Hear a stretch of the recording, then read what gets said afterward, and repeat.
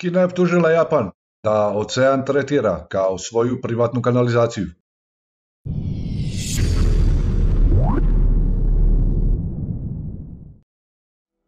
Unato činjenici da je Japan jedna od tehnološki najnaprednijih zemalja na svijetu, našao se bespomoćan pred prirodnim katastrofama.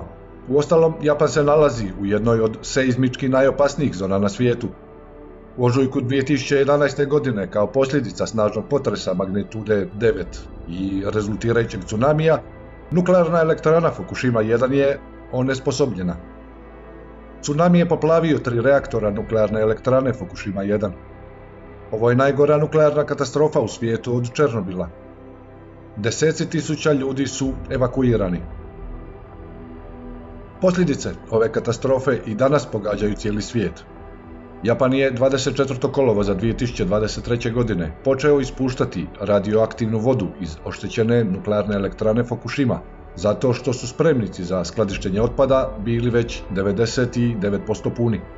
Proces ispuštanja radioaktivne vode trajaće najmanje 30 godina. Zbog toga će više od milijun tona radioaktivnog otpada iscuriti u Tihi ocean. Unatoč višestupanjskom sustavu počišćavanja, radioaktivni izotopi ostaju u vodi.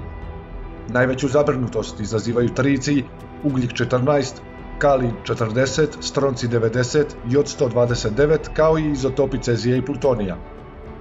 Prema Njemačkom institutu za istraživanje mora, jake struje uz obalu Fukushime prenijet će radioaktivne elemente preko većeg dijela Tihog oceana u samo dva mjeseca.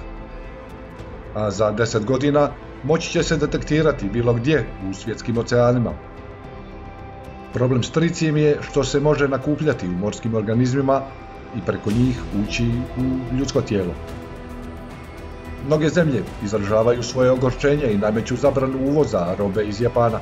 Država se našla sama u suočavanju s tim problemom.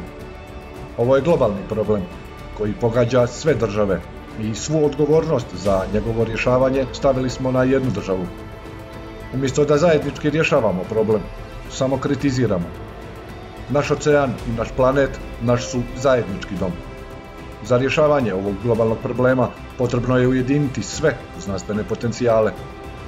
Poziv na takvo ujedinjenje već je uputio Egon Čolakjan. Njegovo obraćanje u cijelosti možete pronaći na njegovoj web stranici.